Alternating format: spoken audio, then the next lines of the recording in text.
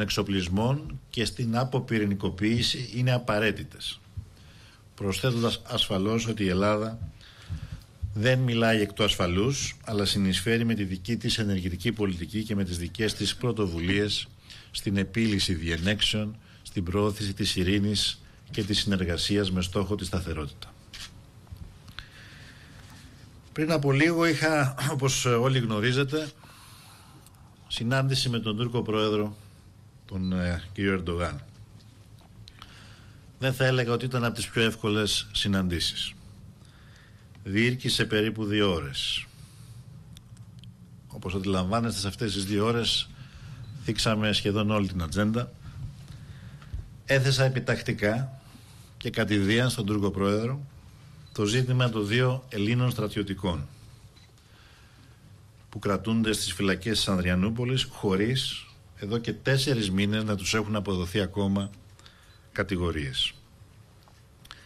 Προφανώς ο Τούρκος Πρόεδρος ε, όπως αντιλαμβάνεστε αναφέρθηκε στο θέμα των οκτώ που έχουν ζητήσει άσυλο των οκτώ Τούρκων στρατιωτικών και τον ενημέρωσα για την δικαστική εξέλιξη του ζητήματος αυτού. Και τόνισα για άλλη μια φορά, κατέστησα σαφές ότι στην Ελλάδα η ελληνική δικαιοσύνη είναι απολύτως ανεξάρτητη. Την ίδια στιγμή υπογράμμισα αυτό που έχω επανειλημμένως δηλώσει ότι για την ελληνική κυβέρνηση οι πράξικοπηματίες από οποιαδήποτε χώρα, από την Τουρκία εμπροκειμένου, οποιοδήποτε επιχειρούν να καταλύσουν δηλαδή την ε, δημοκρατική νομιμότητα, δεν είναι καλοδεχούμενοι στη χώρα μας. Και συζητήσαμε την περαιτέρω συνεργασία μας στον τομέα της ασφάλειας. Συμφωνήσαμε ότι η συνεργασία αυτή έχει μεγάλη σημασία ιδιαίτερα την περίοδο αυτή. Θέλω να σας θυμίσω ότι το 15-16 η συνεργασία μας επέτρεψε την δραστική μείωση των μεταναστευτικών και προσφυγικών ροών και κυρίως γιατί εγώ αυτό θεωρώ στο μεγαλύτερο κατόρθωμα επέτρεψε την ε, δραστική μείωση των θανάτων ανυπεράσπισης των ανθρώπων στο Αιγαίο και έθεσε τις βάσεις για την προώθηση των ευρωτουρκικών σχέσεων αλλά δημιούργησε και το κλίμα για να προχωρήσουν πιο πολύ από ποτέ οι συνομιλίες για μια δίκαιη και βιώσιμη λύση στο Κυπριακό. Η επίσκεψη του Τούρκου Προέδρου στην Αθήνα είχε ως στόχο να τεθούν οι βάσεις για ένα νέο πλαίσιο στις σχέσεις μας. Του υπενθύμησα ότι τότε του είχα πει και κατηδίαν αλλά νομίζω και δημόσια στη συνέντευξη τύπου ότι η Ελλάδα το 2018 γυρίζει σελίδα και είναι στο χέρι της Τουρκίας να γυρίσουν σελίδα θετικά και οι ελληνοτουρκικές σχέσεις. Ωστόσο είναι προφανές ότι αυτό δεν έχει γίνει ακόμα κατορθωτό. Οι τουρκικές παραβιάσεις και η τουρκική προκλητικότητα στο Αιγαίο συνεχίζονται και βεβαίως αποφασί... αντιμετωπίζονται αποφασιστικά και στη βάση του διεθνούς δικαίου από την ελληνική πλευρά. Έθεσα στον Τούρκο πρόεδρο έθεσα υπόψη του Τούρκου Προέδρου στοιχεία που αναδεικνύουν αυτήν την αύξηση της τουρκικής παραβατικότητας στο Αιγαίο από την τουρκική πλευρά. Και συμφωνήσαμε εν τέλει να δώσουμε έμφαση στις ε, προσπάθειές μας για την μείωση της έντασης στο Αιγαίο. Ασφαλώς συζητήσαμε και για το Κυπριακό. Πρέπει να σας πω ότι το πρωί είχα μια τηλεφωνική επικοινωνία και με τον πρόεδρο Αναστασιάδη πριν τη συνάντησή μου με τον πρόεδρο Ερντογάν. Τονίστηκε η σημασία που έχει η συνέχεια των συνομιλιών στο πλαίσιο Γκουτιέρας και συμφωνήσαμε στην ανάγκη ασφαλώς με σημείο αναφορά στις δικοινοτικές συνομιλίες να υπάρξει το αμέσως επόμενο διάστημα στενή επαφή μεταξύ των δύο υπουργών μας εξωτερικών για το θέμα αυτό. Βεβαίως ε, υπάρχουν και άλλα ζητήματα που μπορεί να αποτελούν θέματα ενδιαφέροντος αλλά προτιμώ να σταματήσω εδώ και να δώσω το λόγο σε εσάς και να απαντηθούν όλα τα πιθανά ερωτήματά σας με έναν πιο άμεσο τρόπο. Μπορούμε να ξεκινήσουμε τη διαδικασία από τον κύριο Ρούμπου. Κύριε, κύριε Πρόεδρε, το μεσημέρι εδώ έγινε μια τελετή με τον Γενικό Γραμματέα του ΝΑΤΟ και τον Πρωθυπουργό της πρώην Ιουγκοσλαβικής Δημοκρατίας της Μακεδονίας.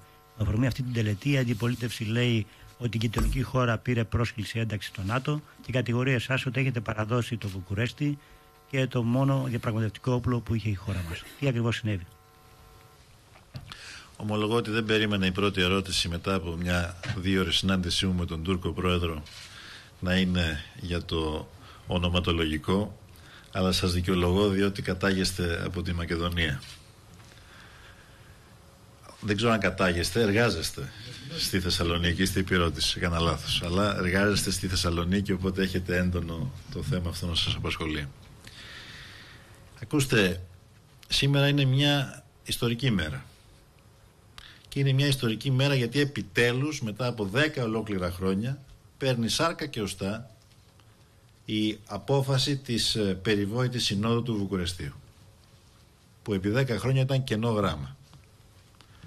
Με την διακήρυξη της συνόδου των Βρυξελών, την οποία φαντάζομαι έχετε όλοι στη διάθεσή σας, και συγκεκριμένα με την παράγραφο 63 της διακήρυξης και ε, σας ε, ζητώ να, το, να ανατρέξετε σε αυτήν.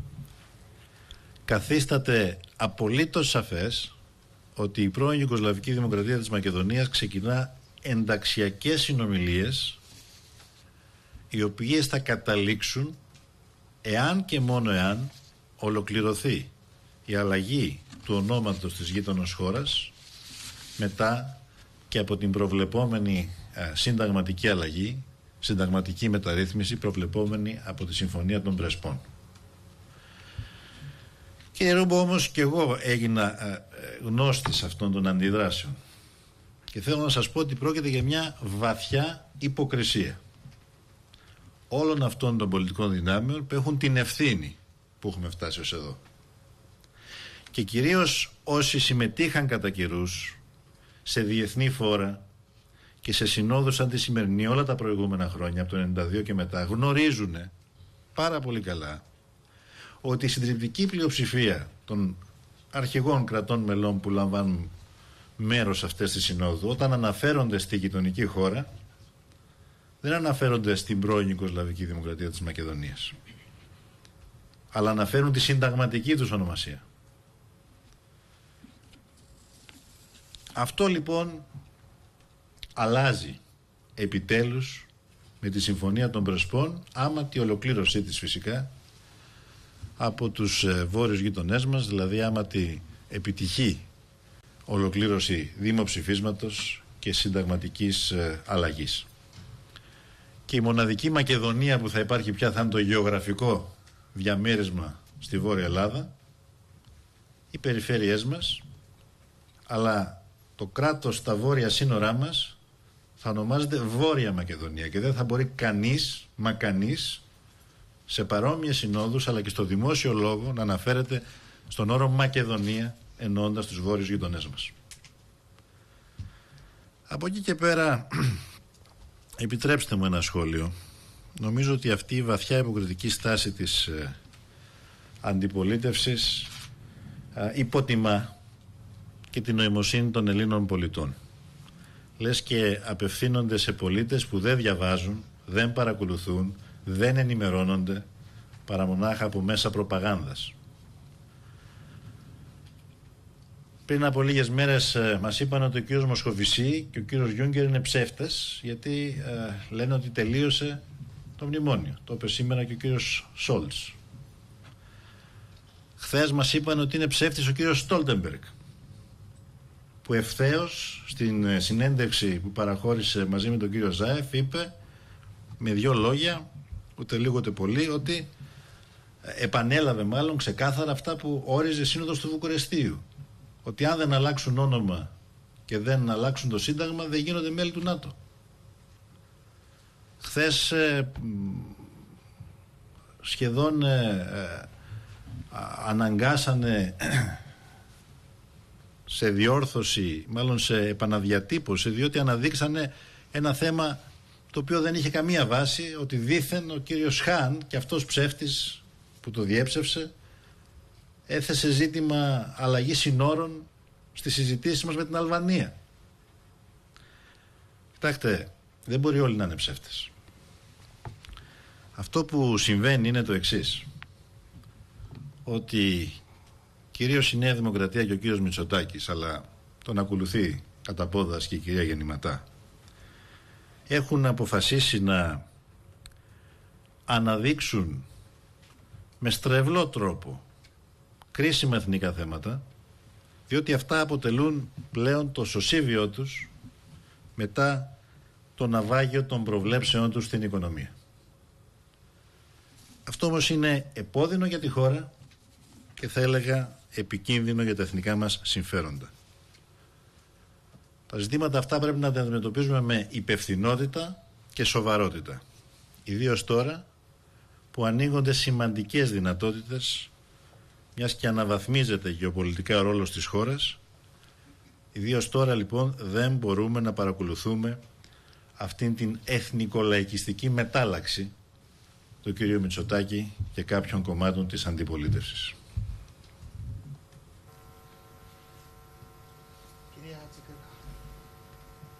Κύριε Πρόεδρε, να σας πάω εγώ στο θέμα του κ. Ερντογάν. Ε, από ό,τι κατάλαβα στην συνάντηση με τον Τούρκο Πρόεδρο, ο Τούρκος Πρόεδρος δεν ε, κόμισε ευχάριστα νέα, ενώ νέα που να αφορούν σε άμεση απελευθέρωση των δύο Ελλήνων στρατιωτικών. Εύχομαι βέβαια να κάνω λάθος. Ε, ποια ήταν τα επιχειρήματά του; Θέλω να πω ότι με δεδομένη την άρνηση ελληνικής κυβέρνησης να συμψηφίσει το θέμα των οδείων με τους οκτώ φερόμενους ως πραξικοπηματίε που βρίσκονται στην ε, χώρα μας.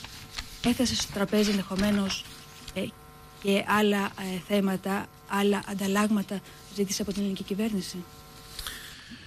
Κυρία Τσικρίκα, καταρχάς τα λόγια μου είναι μετρημένα, ωστόσο πρέπει να σας πω ότι βγαίνοντας από τη συνάντηση έχω περισσότερες ελπίδες από ότι πριν μπω στη συνάντηση αυτή.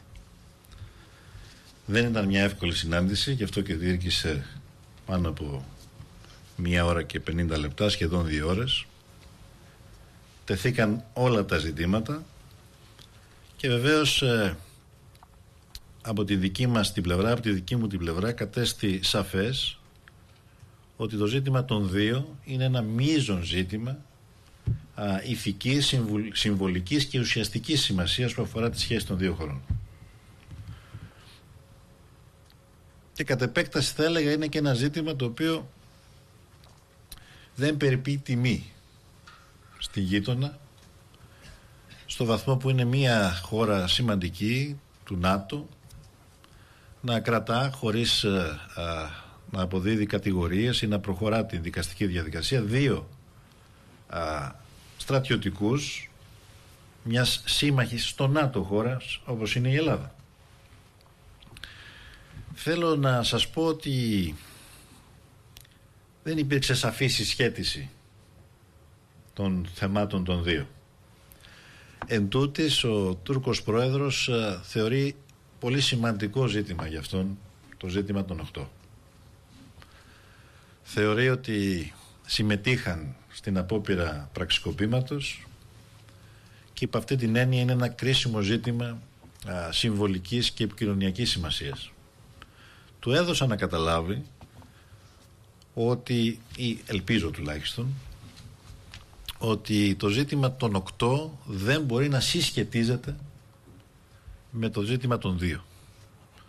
Είναι άλλο θέμα όταν κάποιος ζητά άσυλο και ακολουθούνται οι προβλεπόμενες διαδικασίες και βεβαίως υπεύθυνοι για τις αποφάσεις είναι η ανεξάρτητη σε ένα κράτος δικαίου όπως η Ελλάδα δικαιοσύνη και άλλο ζήτημα είναι αυτό που αφορά την σύλληψη και την κράτηση δύο στρατιωτών που κατά τη, στρατιωτικών που κατά τη διάρκεια μιας επιχείρησης ρουτίνας που αφορά την επίβλεψη των συνόρων πέρασαν κατά λάθος κατά κάποια μέτρα στην άλλη πλευρά. Και εν διάφορα περιπτώσει αυτό που η ελληνική πλευρά ζητάει δεν είναι κάποια χάρη, αλλά να προχωρήσουν οι διαδικασίες. και βεβαίως εφόσον οι άνθρωποι αυτοί δεν έχουν διαπράξει κάποιο αδίκημα, που δεν έχουν διαπράξει κάποιο αδίκημα, να οριστεί η προβλεπόμενη διαδικασία, να δικαστούν και εν πάση περιπτώσει να μπορέσουν να επιστρέψουν στις οικογένειές τους. Ο κύριος Μελέτης. Κύριε Πρόεδρε, θέλω να ρωτήσω αν ανησυχείτε για τις πληροφορίες που υπάρχουν τις τελευταία 24 ώρα για έξωθε παρεμβάσεις με στόχο να πληγεί, να δυσκολέψει η υλοποίηση της Συμφωνίας των Πρεσπών και επίσης, αν το περιστατικό με την απέλαση των δύο Ρώσων διπλωματών, αλλά και η σημερινή ανακοίνωση του Ρωσικού Υπουργείου Εξωτερικών με αφορμή την, ένταξη, την πρόσκληση για ένταξη, ε, η έναρξη ενταξιακών διαπραγματεύσεων της πρώην Ιουγκοσλαβική Δημοκρατίας της Μακεδονίας, πιστεύετε ότι δημιουργεί, δίνει ένα στίγμα μιας πιο επιθετικής προσέγγισης της Ρωσίας στις υποθέσεις της περιοχής μας και απέναντι στην Ελλάδα; Κύριε Μελέτη, δεν ε, ανησυχώ, αλλά είμαι υποχρεωμένος στο βαθμό που μου αναλογεί ως Πρωθυπουργός της χώρας να υπερασπίζομαι την εθνική κυριαρχία της χώρας. Η Ελλάδα είναι μια χώρα η οποία επιδιώκει ιδιαίτερα τα τρία τελευταία χρόνια στη βάση ενός δόγματος πολυδιάστατης ενεργητικής εξωτερικής πολιτικής καλές σχέσεις με τις περισσότερες χώρες, όχι μόνο της γειτονιάς μας. Άλλωστε, ε, Εν προκειμένου, εγώ ήμουν αυτός ο οποίος επανεκκίνησε αυτές τις σχέσεις πριν από τρία χρόνια. Α, εν τούτης, έχουμε την απέτηση όλες οι χώρες να σέβονται τη διεθνή νομιμότητα και την εθνική μας κυριαρχία. Και όταν βλέπουμε κάποια περιστατικά που, κινούνται, που δεν κινούνται σε αυτή την κατεύθυνση, τότε παίρνουμε τα απαραίτητα μέτρα. Περί αυτού πρόκειται και δεν θα ήθελα να το σπουδαιολογήσω περαιτέρω.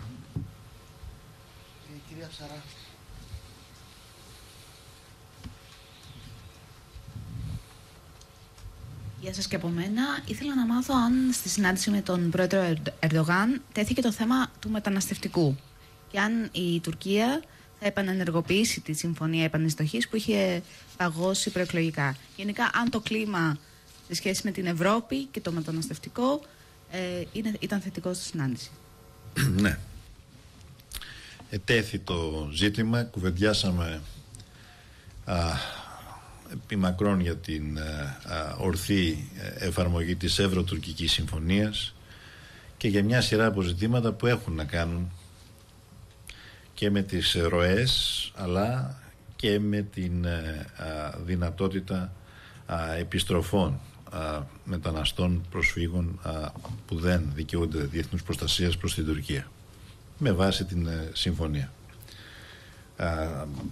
Καταλήξαμε στην ανάγκη το επόμενο διάστημα να έχουμε μια πιο στενή επικοινωνία οι δύο πλευρές τόσο ο Τούρκος Πρόεδρος όσο και εγώ γυρνώντας στις χώρες μας θα επικοινωνήσουμε με τους αρμόδιους υπουργούς οι οποίοι θα είναι από εδώ και στο εξής σε μια στενή επικοινωνία.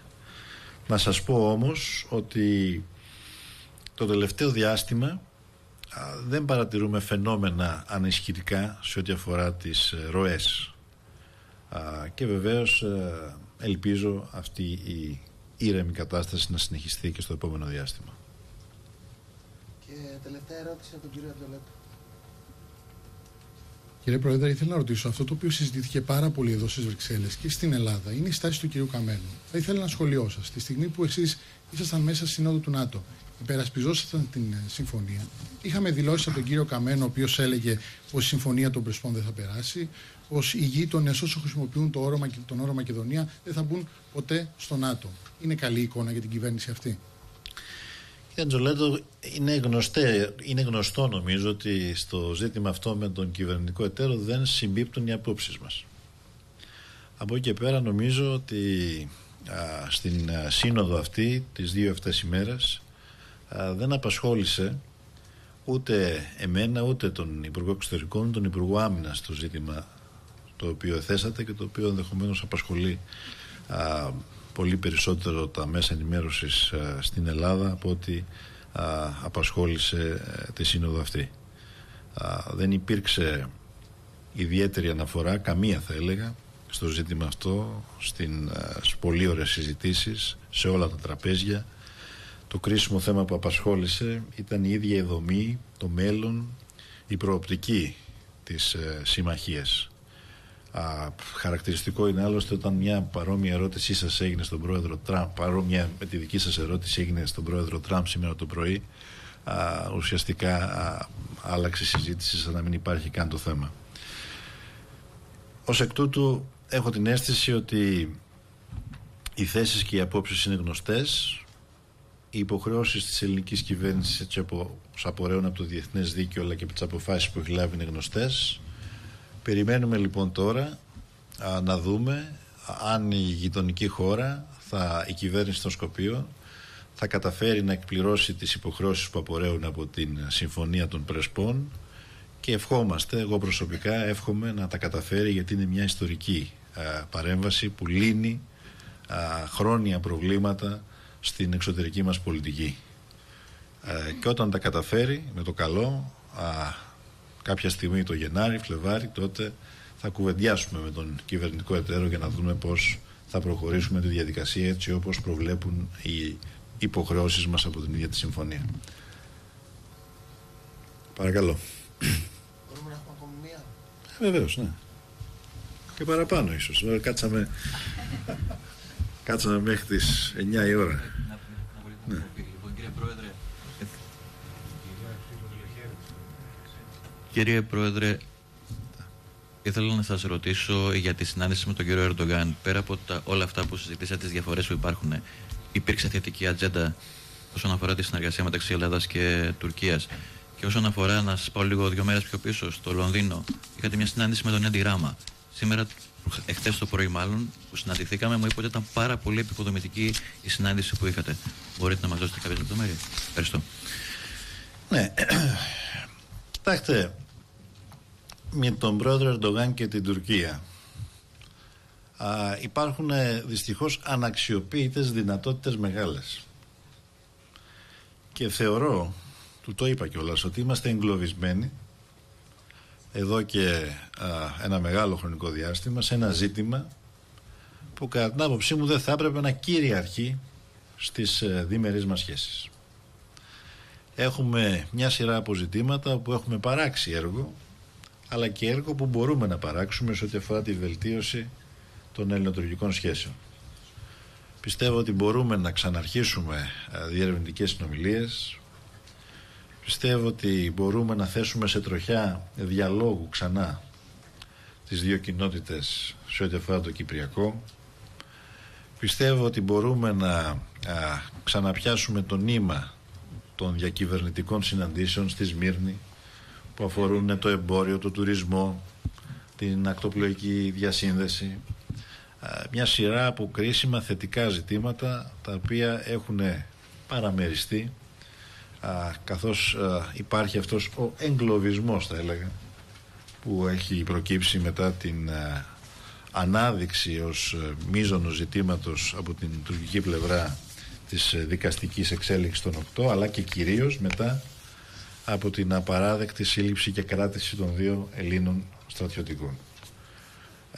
Ελπίζω, ελπίζω, όπως είπα και πριν, ε, έφυγα από τη συνάντηση με περισσότερες ελπίδες από ό,τι πριν, να καταφέρουμε να απεγκλωβιστούμε για να ανοίξουμε αυτή τη θετική ατζέντα. Α, για το ράμα.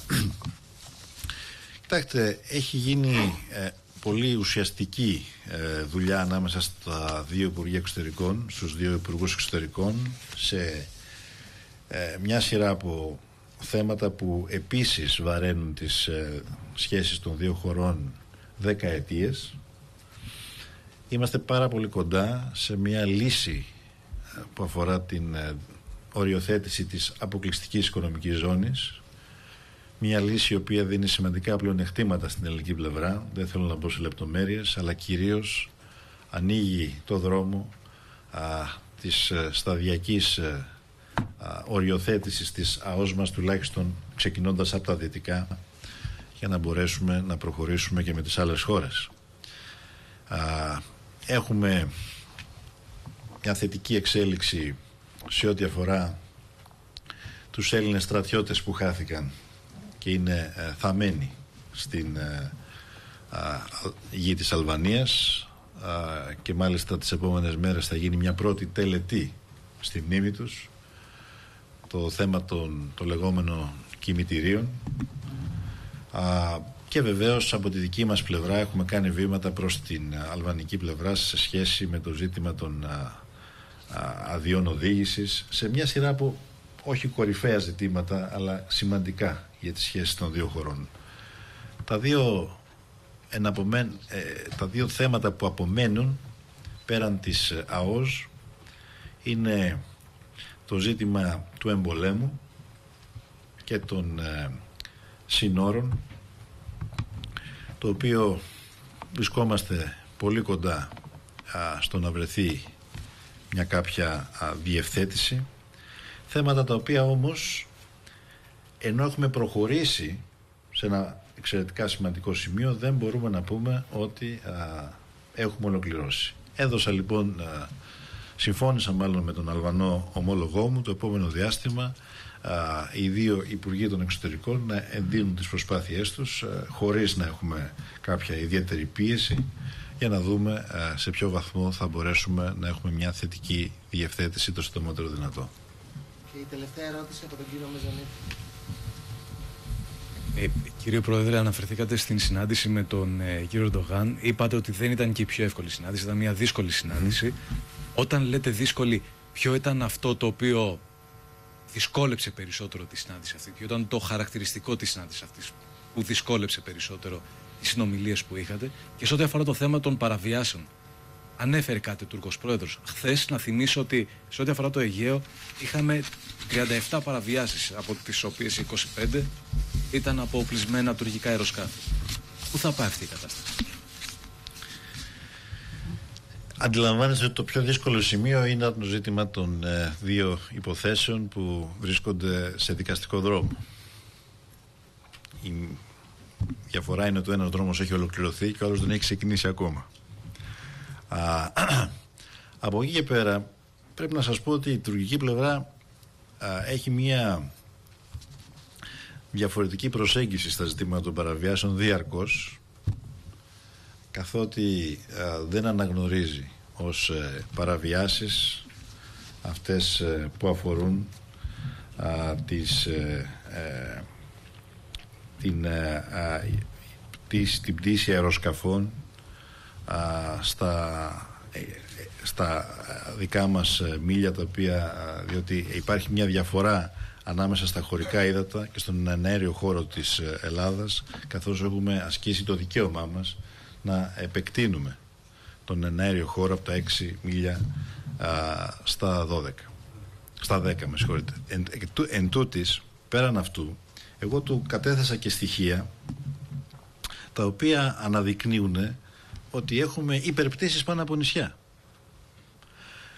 και βεβαίως ότι έχουμε αερομαχίες και εμπλοκές. Εκεί δεν μπορεί να υπάρξει αμφισβήτηση.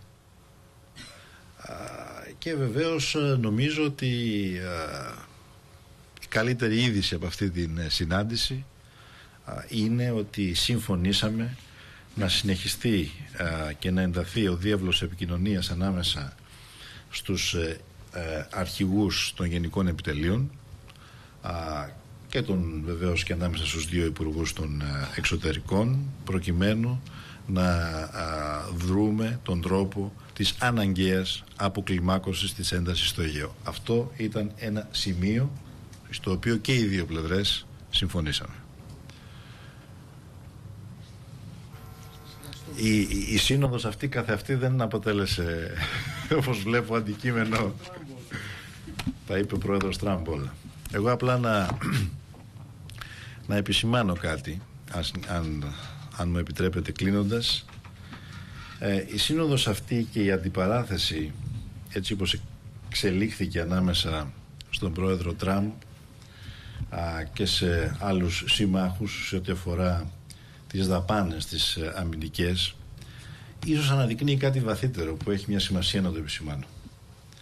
Ίσως ε, αναδεικνύει μια διαφορετική οπτική από την πλευρά των ΗΠΑ σε σχέση με, το, με την ίδια τη συμμαχία. Ο πρόεδρος Τραμπ σε κάποια στιγμή αναφέρθηκε στην, με την εξής φράση ότι η συμμαχία πλέον είναι περισσότερη απαραίτητη, είπε, για τις ευρωπαϊκές χώρες παρά για τις ΗΠΑ.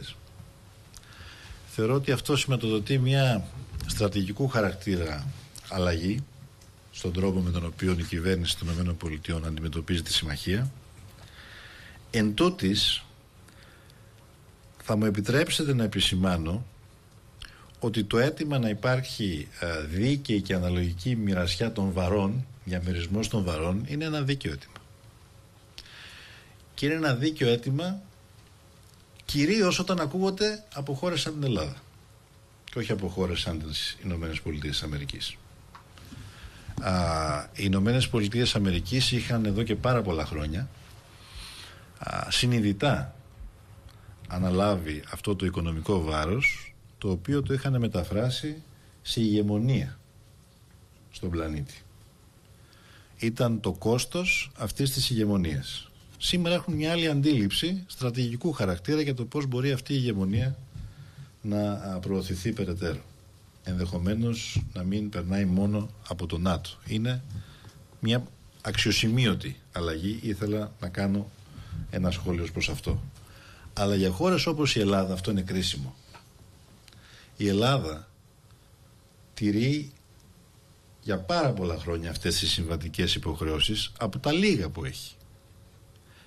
Και θα έλεγα ότι μία από τις αιτίες που οδηγηθήκαμε και στην κρίση ήταν ακριβώς αυτή. Όταν άλλοι εταίροι μας στην Ευρωπαϊκή Ένωση που έχουν και αμυντική βιομηχανία, άρα οι δαπάνες τους εξοπλισμούς είναι και κατά ένα μέρος αναπτυξιακές, έδιναν πολύ λιγότερα αναλογικά από ό,τι δίνει η Ελλάδα, αλλά η Ελλάδα έδινε εξαιτίας της θέσης της στο χάρτη και της ιδιομορφίας της σχέσης της με την Τουρκία, αλλά και άλλες χώρες στην περιοχή. Και άρα η Ελλάδα δεν είχε τη δυνατότητα εξαιτίας αυτού του λόγου να μπορεί να δαπανά για την παιδεία, για την υγεία, για υποδομές κοινωνικές. Δεν μπορεί. Και μετά από όλα όσα τράβηξε η Ελλάδα το προηγούμενο διάστημα με την οικονομική κρίση, που έχασε το 25% του εθνικού της πλούτου, αλλά παρέμεινε σε δαπάνες εντός του συμβατικού της ορίου, δεν μπορεί κάποιοι άλλοι να λένε θα το δούμε στο μέλλον, δεν μας αφορά. Και κυρίως δεν μπορεί κάποιοι οι οποίοι ε, στα πλαίσια της Ευρωπαϊκής Ένωσης, ενός, εντός ενός άλλου οργανισμού στον οποίο συμμετέχουμε και στα πλαίσια της αλληλεγγύης πάλι αναγκάσαν την Ελλάδα να ταυτιστεί, να ευθυγραμμιστεί με τη λογική των κυρώσεων στη Ρωσία που δημιούργησαν ένα τεράστιο πλήγμα στην αγροτική μας οικονομία δεν μπορεί να λένε ότι α, εν πάση περιπτώσει ο διαμερισμό, η διαφοροποίηση των πηγών ενέργειας θα πρέπει να είναι μια υπόθεση που να αφορά μονάχα τον Νότο και όχι τον Βορρά. Θέλω λοιπόν με δύο λόγια να πω ότι ενδεχομένως ο τρόπος με τον οποίο έθεσε το ζήτημα ο πρόεδρος Τάμπ να ήταν ο λίγων μη πολιτικά ορθός, το συνηθίζει άλλωστε, αλλά η ουσία του αιτήματος που κατατέθηκε ήταν κατά την άποψή μου πολιτικά ορθότατη. Ευχαριστώ πολύ.